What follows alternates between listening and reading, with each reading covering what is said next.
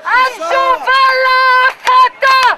מהפכה! אשובה להפרטה! מהפכה! בריאות חינם לכולם! בריאות! ואני רוצה להגיד לראש הממשלה, לביבי נתניהו שמה שיושב בירושלים, שידע שזאת רק ההתחלה. עולים על הטיילת, מתחילים לצעוד לכיוון הסינמטק. זאת רק ההתחלה, ומאוד מאוד חשוב, חבר'ה, שתמשיכו לעקוב בפייסבוק ותמשיכו להגיע, ואל תיכנעו לחום ו... לחום ולקושי.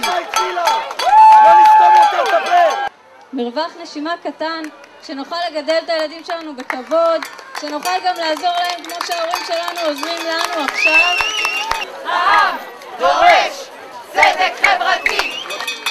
וחבל שזה הגיע לזה, אבל ככה זה.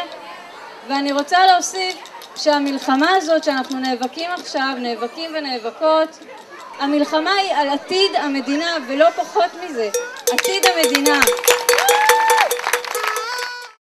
אני מודה ומתוודה שזה היה משהו מאוד ספונטני. אני פשוט היום ישבתי כמה שעות אה, שפיניתי בפייסבוק ושלחתי לכולם לינק ופשוט ביקשתי מכולם להגיע לפה וכשהגענו לגן האם ראיתי שאף אחד לא עושה כלום אז לקחתי אחריות, זה הכל.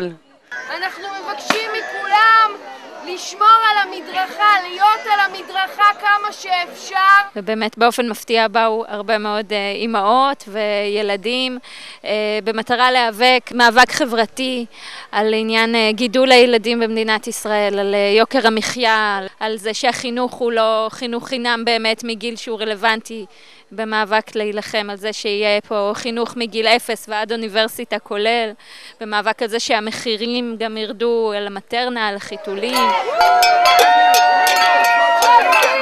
ובעצם זה חובר למאבק בכלל על דמותה של מדינת ישראל, אם זו תהיה מדינת רווחה, שהילדים שלנו יוכלו לגדול בה ולחיות בה גם בעוד כמה שנים ולא לא ככה להילחם על המחיה פה ולשרוד, אלא באמת לחיות במדינת רווחה, בביטחון כלכלי וסוציאלי, ואנחנו חוברים בעצם כאימהות לתוך הגל הזה של המחאה שקיימת היום בארץ, זה מחירי הדיור ו... כל מה שככה מחירי הדלק ומחירי המחיה.